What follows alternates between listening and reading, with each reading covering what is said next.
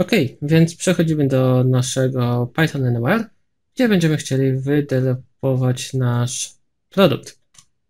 Mogę zamknąć Heroku. Heroku też wspiera Pythona, Fly.io i w zasadzie tyle. Klikamy Create a Beginner Account i tworzymy nasz, e, nasze konto przy pomocy username, e-mail, dwóch haseł oraz oświadczenia, że mamy ponad 13 lat. Kiedy już tego dokonasz, możesz się zalogować, oczywiście musisz potwierdzić e-mail, zalogować się. Ja już to zrobiłem, login. Kiedy się pierwszy raz zalogujesz, to ciekawe, że mogę tutaj założyć jeszcze konto. Kiedy pierwszy raz się zalogujesz, będziesz miał możliwość wybrania tego, czy chcesz e, odbyć jakiś kurs. Ja wybrałem Django, więc też może, y, dokładnie kiedy już stworzyłeś aplikację w Django i chcesz ją wydevelopować i możesz właśnie też przejść i tak naprawdę wydevelopować tę stronę dzięki właśnie temu tutorialowi bez mojej pomocy. Ja to zamknę. Tak więc tak wygląda nasz Python Anywhere. Do wydevelopowania będziemy potrzebowali jeszcze kilku rzeczy, aczkolwiek pokażmy, że nasza strona już poniekąd działa. Jeżeli wpiszemy Karol Kurek, tylko nie PL, a python.com, to widzimy, że jakaś strona tutaj już jest, tak? I możemy coś na niej zobaczyć. To jest strona, która powstała po stworzeniu konta. Teraz, żeby móc e, wydevelopować naszą stronę na Python Anywhere, potrzebujemy Gita, aby wysłać e, nasz e, kod i ściągnąć go tutaj.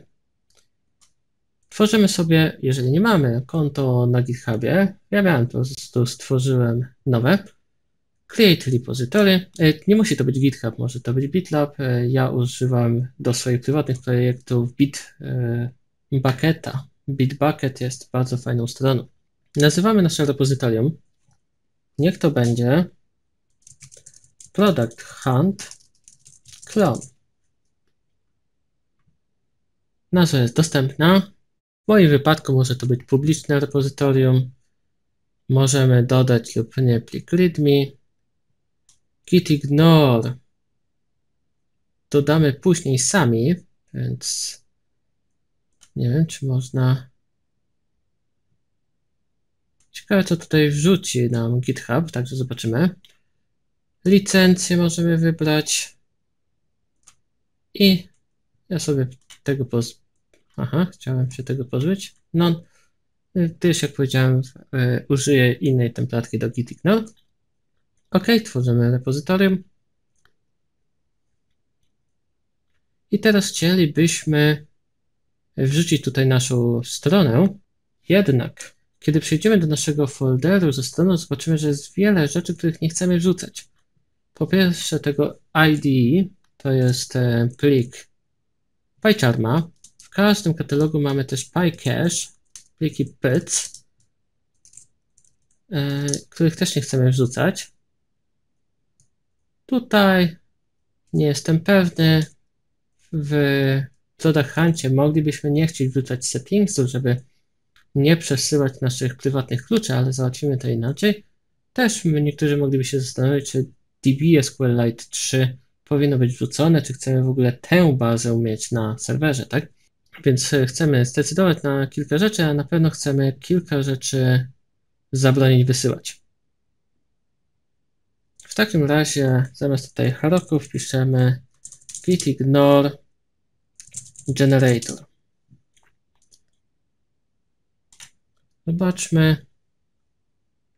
Tutaj wpisujemy wszystko, czego używamy, żeby gitignore został wygenerowany.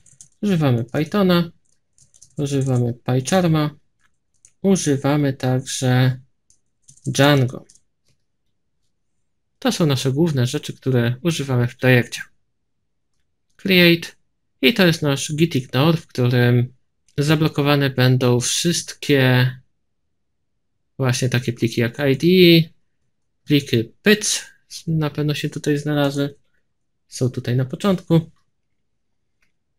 DB SQLite 3 możemy wrzucić w naszym wypadku, żeby szybciej zobaczyć, że działa.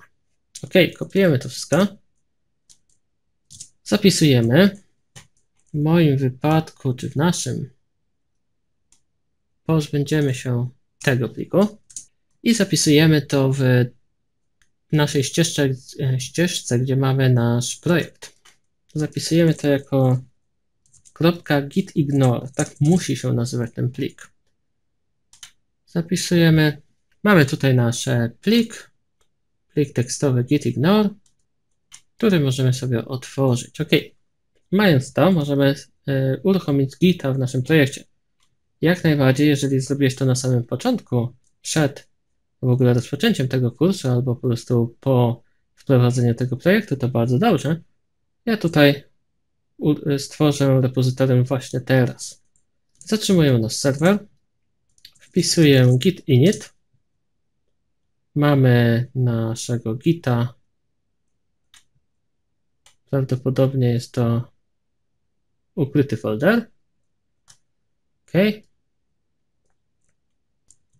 dodajemy nasze pliki, nie przejmujemy się tymi warningami, wpisujemy git commit myślnik m initial commit.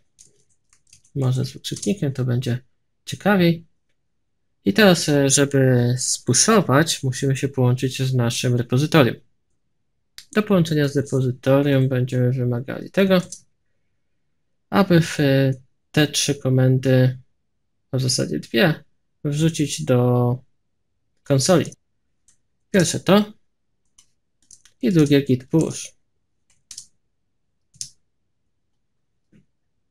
Może po prostu git push.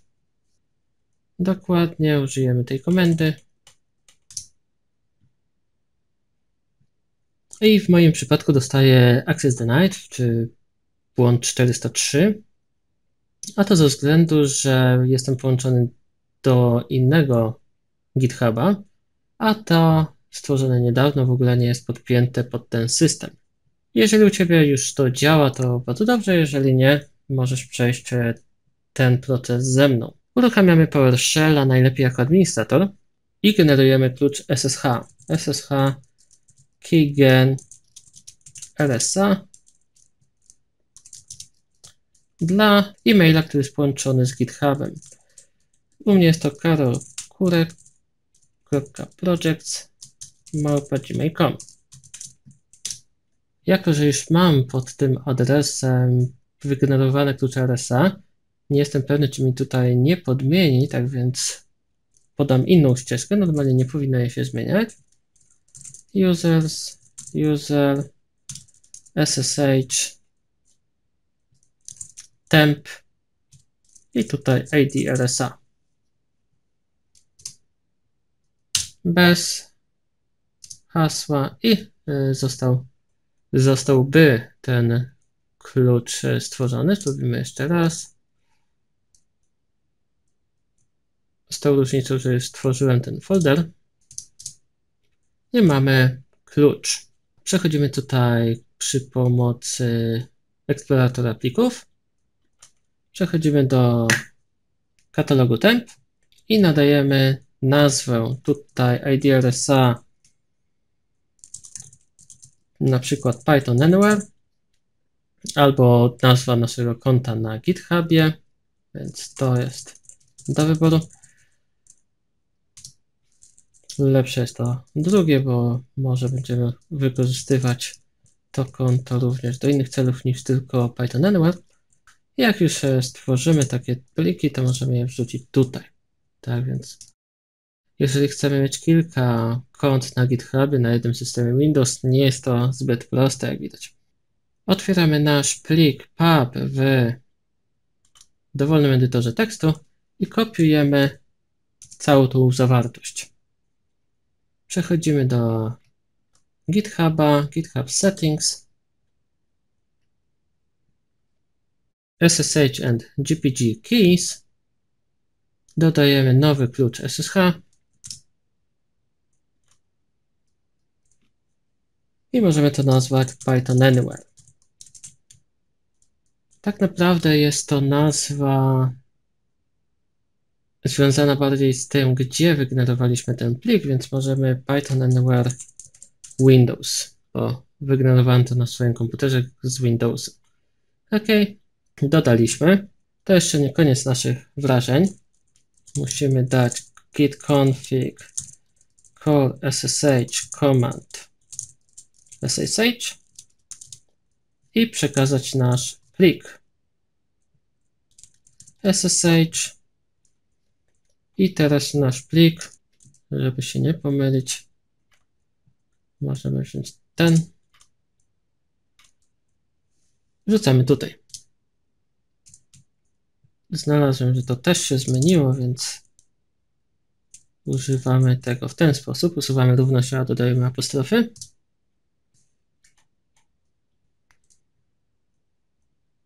Nie jestem pewny, czy przeszło tak, jakbym chciał, więc dodajmy tutaj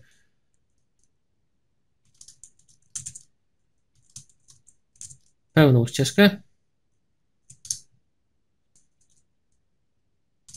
Yy, I w PowerShellu ta komenda yy, działa poprawnie. OK. Spróbujmy teraz. To wszystko było po to, żeby wypuszować nasze zmiany. Nie możemy wypuszować naszych zmian. Spróbujmy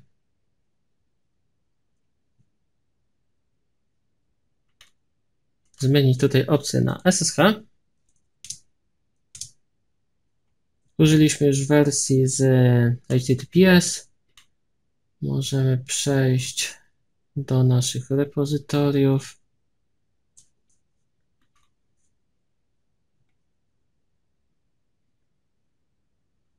Chciałem tutaj usunąć repozytorium, ale chyba łatwiej będzie git remote rm destination. Sprawdźmy git remote. W takim razie git remote rm origin. OK. Dodajemy origin do wersji z SSH. Git push.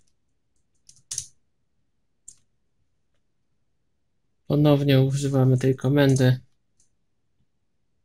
I w końcu się udało. Tak więc e, dokonanie tego za pierwszym razem, kiedy mamy już konto na GitHubie, może być trochę skomplikowane. Ok, kiedy już tego dokonaliśmy, możemy przejść do Python Anywhere, bash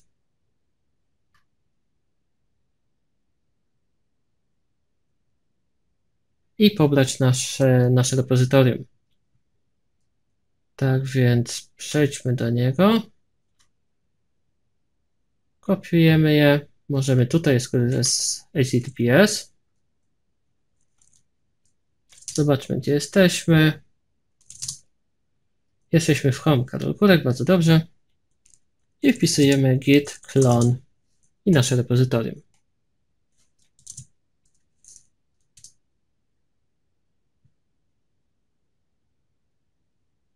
Żeby wrzucić zmiany później z tej strony na Gita, znów będziemy potrzebować wytworzyć przynajmniej klucz SSH.